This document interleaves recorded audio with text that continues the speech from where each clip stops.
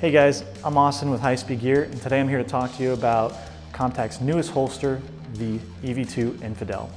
This is a new inside the waistband appendix carry holster. It's also a hybrid holster, so that means you get this nice two-layer top grain cowhide leather backing for maximum comfort, and the interchangeable shell, which can be easily switched out for other guns in case you want to change your carry gun for the day. It comes with this one and a half inch Infidel belt clip, which allows you to easily attach and detach the holster from your belt and can be worn over top of belt loops so you're not constrained as to where you can place it. You can also switch it out for the separately sold one and three quarter inch belt clip if you wear a larger belt. And the holster is cant adjustable, so you can wear it straight up and down with a 15 degree forward cant or with a 15 degree rear cant.